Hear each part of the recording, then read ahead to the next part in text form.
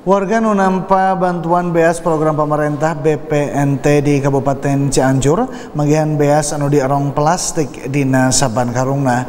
Sawatara warga kapaksa konsumsi eta beas, najan pihak kecamatan ngageing ke warga bikin mulangkeun deui eta beas ka i warung.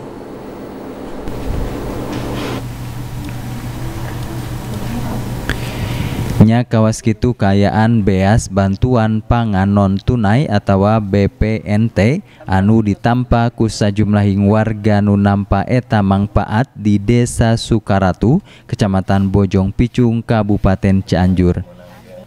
Dina jero karung eta beas rea bubuk plastik pulas bodas turbadi siki beas.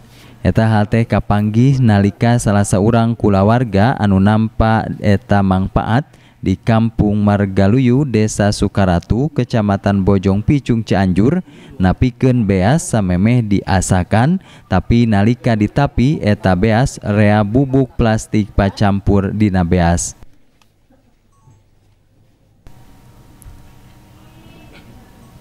Eta bubuk plastik teh dipilewang ku warga katut ketua RT satempat upama di dalahar bakal mucunghulkeun panyakit ka masyarakat anu nampa bantuan beas. Panimu sarupa kitu teh karandapan oge di sajumlahing lembur satu tas ayah laporan ke pihak RT. Kiwari kakara kapanggih ayah dua karung beas anu pacampur jeng bubuk plastik teh. Pihakna miharap pihak anu boga wenang leuwih tilik lebah nyawiskeun eta beas bantuan. Ya udah dimasak, udah dimasak langsung makan gitu sama-sama makan sama anak cucu menantu sama-sama. Itu rasanya gimana ketahuannya? Enggak, kayaknya kayak batu gitu. Nah, waktu dilihat ternyata Eh, putih. oh putih Oh, kan, eh, di- dikira itu eh, mute itu kan. Oh, batu kerikil gitu ya. Iya. Ternyata plastik gitu. Ya plastik. sempat ketelan bu Sempat ada yang ketelan nggak kira-kira? Enggak tahu kalau si kecil. Oh, anak-anak juga sempat makan. Hari anak mah enggak udah. Sajeroning kitu camat Bojong Picung Cianjur nembrakeun kiwari geus aya dalapan urang warga nu ngaku manggihan beas plastik dina jero karung beas.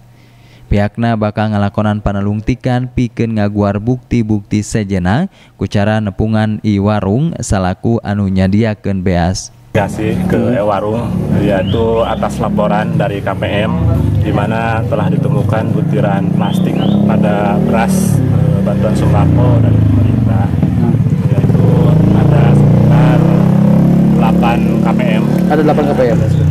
Ada sekitar 8 KPM tapi saat ini kita investigasi dulu. Ya tapi itu laporan dari RT Ini kemungkinan butiran plastiknya sendiri apakah dari pabriknya, dari suppliernya atau dari mana? ya justru itu kita investigasi dulu ya. Jadi kita belum bisa menyimpulkan siapa atau dari mana eh, butiran plastik itu ditemukan. Pihakna tacan bisa nyindekeun asal usulna eta bubuk plastik teh. Pihakna bakal ngalakonan investigasi mariksa sakumna beas anu katampa ku warga.